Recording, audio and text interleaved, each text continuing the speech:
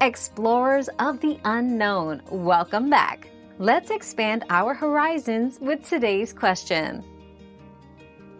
No, the Philippines is not the only country with a mandated 13th month pay. This benefit, essentially an extra paycheck, is also mandated in countries such as Brazil and Argentina. The practice varies from one country to another, including the calculation basis and payment time, aiming to boost employee welfare and provide additional financial support towards the end of the year or on specific occasions. We've quenched today's curiosity, but there's always more to learn. Keep the curiosity alive by subscribing and joining us for our next adventure.